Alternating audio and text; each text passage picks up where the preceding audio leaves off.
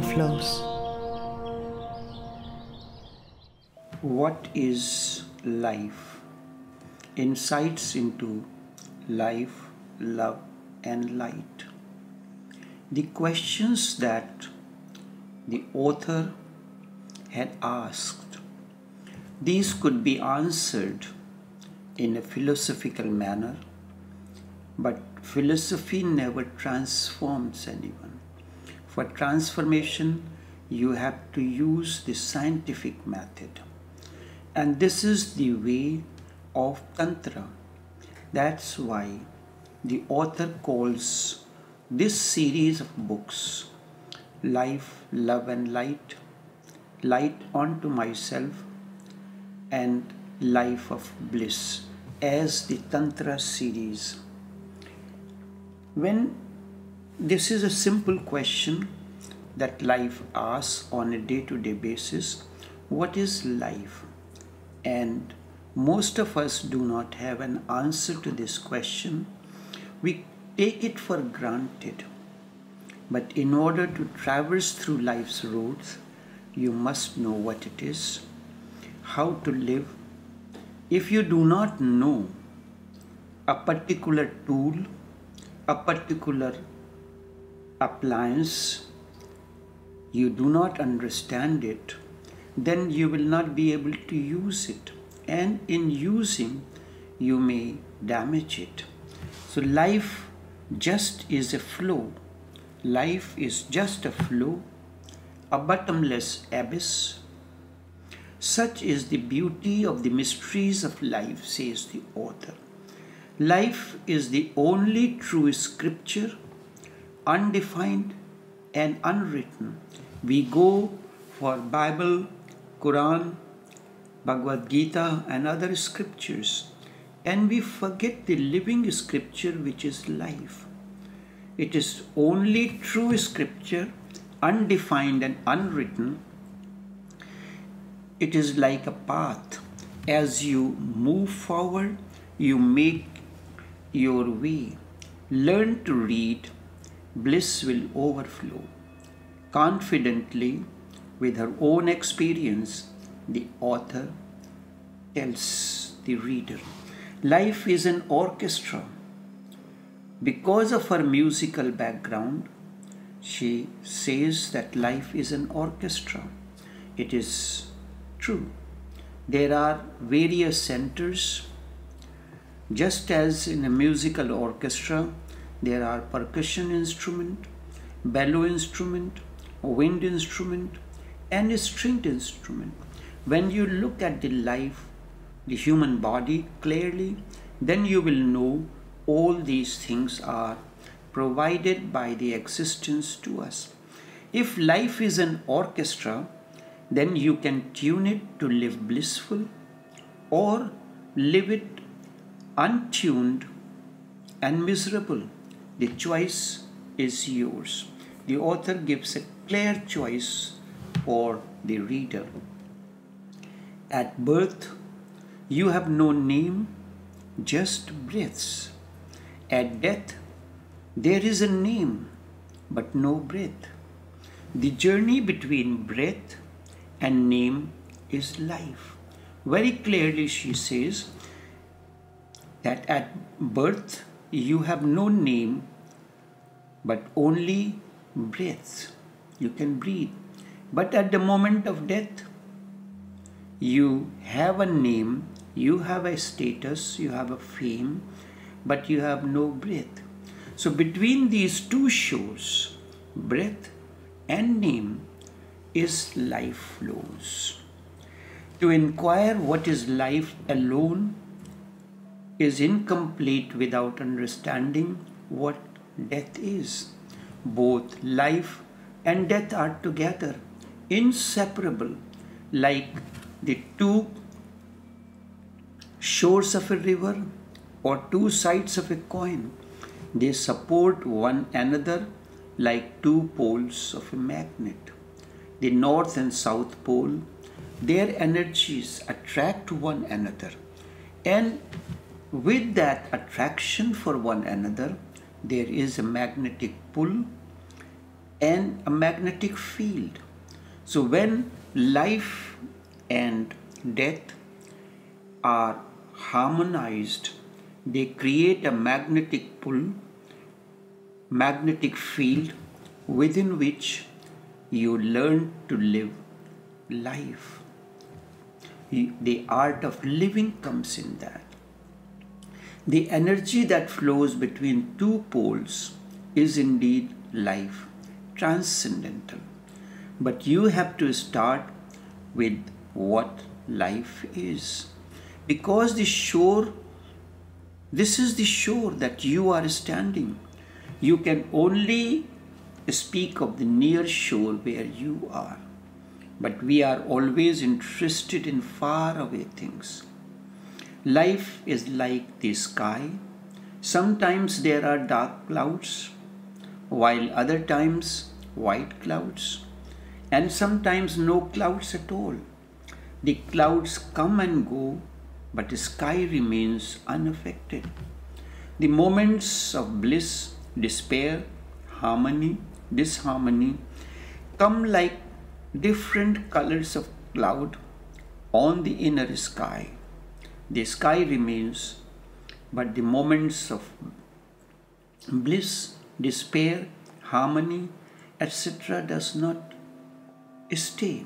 Life is in living. A very strong statement. Life is in living. How you live your life tuned or untuned. As she says that you can tune it into blissful note or in a miserable note. But basically, just as each orchestra is tuned at one scale, life has to tune at one scale. That is a scale of transformation. Life is not anything like an object. It is a continuous process like a flow. Just as a river rivers continuously flows, so too life continues to flow. There is no way for you to attain to life except by living it moment to moment. This is a scientific manner. Life is never except by being alive, flowing and streaming with it. You are seeking the meaning of life in some dogma or scripture, philosophy, or some theology.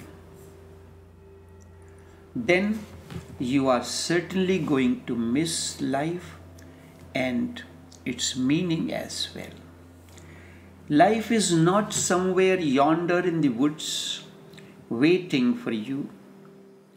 It is con- constantly happening within you.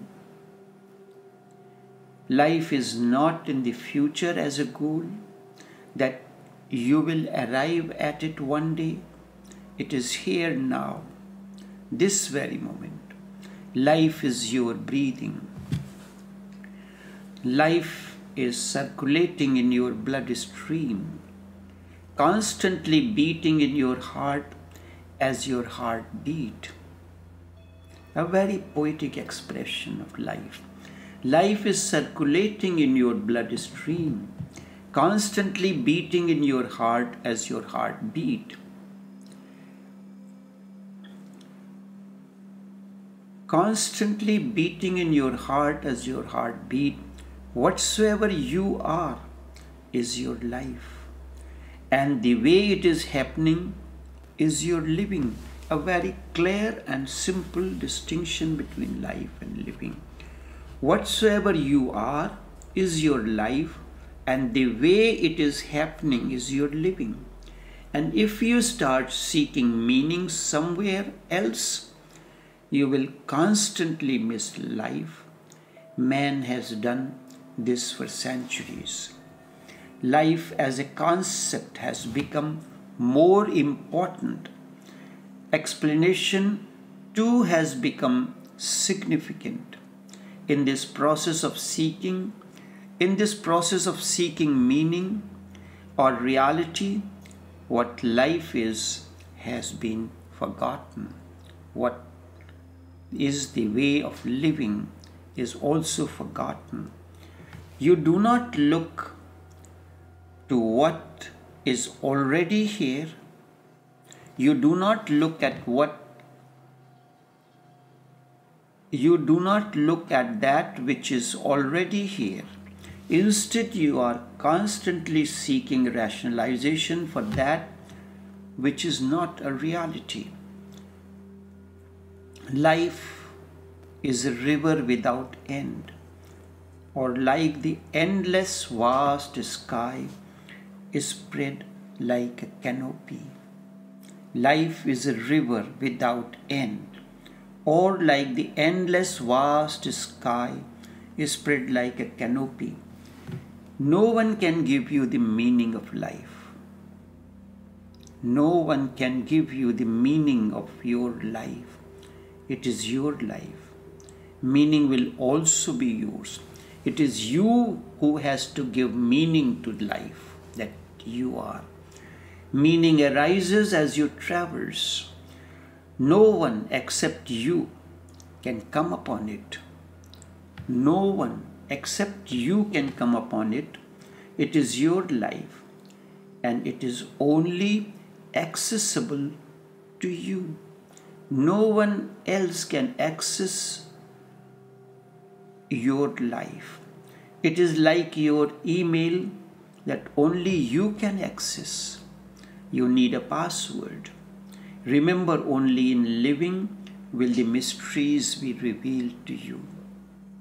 What a poetic expression the author has used to explain the intricate things. Never seek life anywhere else, not even in me. I am outside you. Not even in scriptures, they are also outside. Not in clever explanations, they all will explain life away from you or stuff your mind with this and that.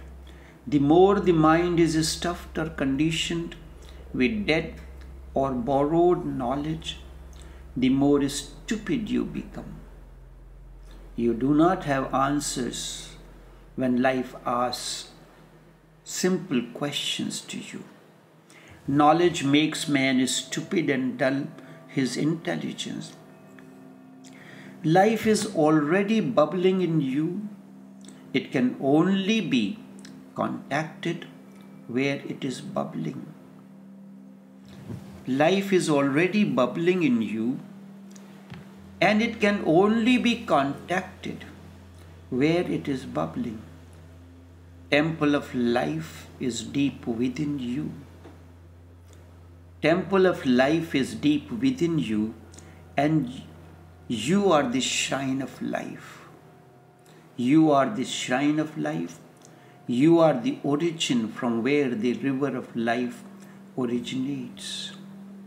You are the shrine of life. You are the origin from where the river of life emerges. So, first thing to remember if you want to know what life is, never seek it outside. Never seek it outside. Never try to find out from someone else because the meaning of life cannot be transformed. Because the meaning of life cannot be transferred. Or your meaning of life will differ from mine. Very important. If you want to know what life is, never seek it outside. Never try to find out from someone else because the meaning of life cannot be transferred and your meaning of life will differ from mine. Enough for now. Thank you.